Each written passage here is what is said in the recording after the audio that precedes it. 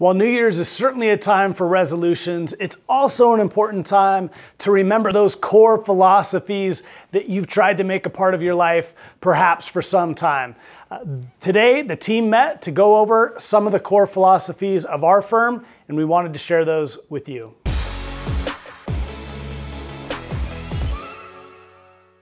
Back by popular demand, uh, Brian has agreed to join me uh, today. Um, the team got together for four hours uh, today to, to really go back through um, what's changed in markets, what's changed in portfolios, but for all that change, uh, change, what are those core philosophies that we want to remind ourselves of and you, uh, the client, that drive so much of what we try to do for you here on the investment side at Ten Capital.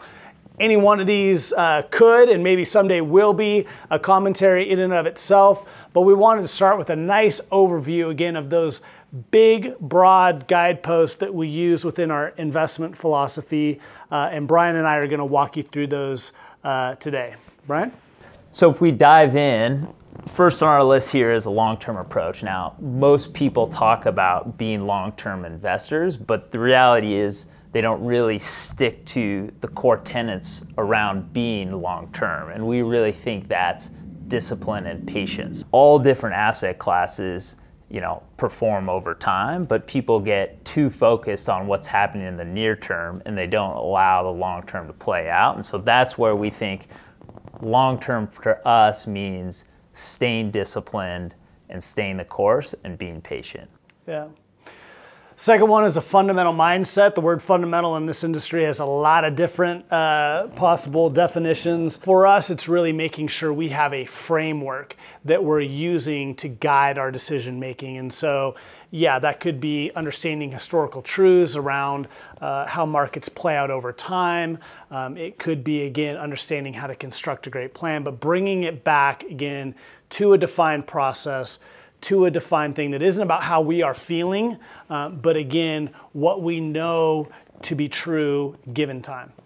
Great. And that brings us to number three, which is diversification. Everyone sort of talks about diversification. And, you know, the obvious benefits of diversification is owning a number of different assets that have different value drivers that, you know, may work better or worse in different times, but collectively through diversification, we can get good long-term performance with less volatility. But I think the other thing that we talk a lot about in diversification is when we look at an investment, we're going to make assumptions around what's the potential expected return and you know what are the risks involved and we know that we don't always get those perfectly right diversification saves any saves us from any potential errors we may make in making future projections. Yeah. Key thing I always want to remind people about when it comes to diversification, uh, and I'm sure I did, I'm sure I'm riffing this from someone somewhere, but it doesn't work all the time, but it works overtime or given time. And so, if, and we'll, we'll definitely do a commentary just on that one, but diversification means you're never gonna be exclusively in the number one thing, which can be really frustrating for some people, but it's amazing uh, done correctly over a period of time, how you drift back up near the top uh, if you let it have the time to work. So number four is independence. And this is a critical, critical thing. Again, don't think of these as listed in terms of a hierarchy. Uh, they're all equally on the table. Um, if you can't move objectively, if you can't take your best thoughts, your best possible investment options, uh, tools, and work with them without restriction, you're not going to bring the best possible result to bear for clients. And so it's one of the things we've prided ourselves, we've certainly talked to you about it before uh, here at Ten Capital, is being independent, being able to bring best of thought, best of idea, best of option uh, to our clients uh, to write the story that's best for you. Great. So that leads us to tax tax conscious. Now, I think the core piece of this is what really matters long term is net after tax returns, right? And sometimes the tax consequences of your investment decisions aren't always obvious that day, but sort of play out into the, um, you know, have big impacts to long term growth of your portfolio. And so we always need to take in tax impacts to the decisions we make.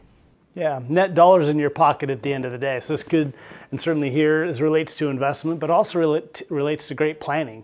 Are we moving the things within your accounts? Are we tax loss harvesting? Are we doing Roth conversions? All the different pieces to, at the end of the day, leave the most money in your pocket. And at the end of the day, avoid avoid unnecessary complexity. So in working with a group that is independent, that has a thoughtful approach to things, it all needs to be able to be communicated to you, the client, in a way that you can understand and have conviction in. Because that conviction, to bring it back around, is what's going to help you stay in something long term to give it the time it needs uh, to be successful. And so it's something we work very hard.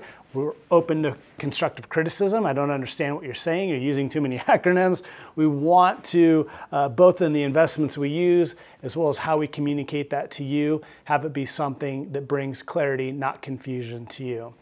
With that, if there's any of these you'd love us to dive deeper into, please reach out. Uh, but we hope you can use this as we head into the new year uh, to refresh your own mindset around what your investments should be doing for you. Thanks, friends. Okay.